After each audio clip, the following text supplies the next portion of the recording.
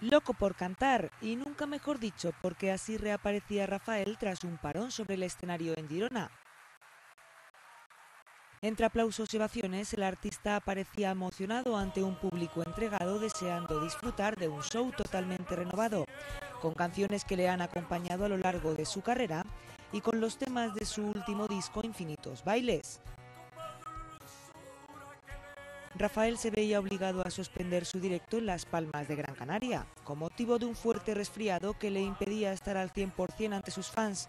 pero anoche Rafael volvía a dejar claro el por qué es uno de los artistas más importantes de nuestro país y que abarca varias generaciones.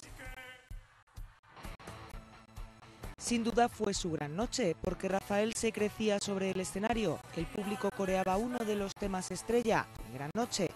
una canción mítica que refleja la esencia de un cantante que cerrará su gira española en el Withing Center de Madrid el próximo 21 de diciembre para continuar el año que viene por América Latina.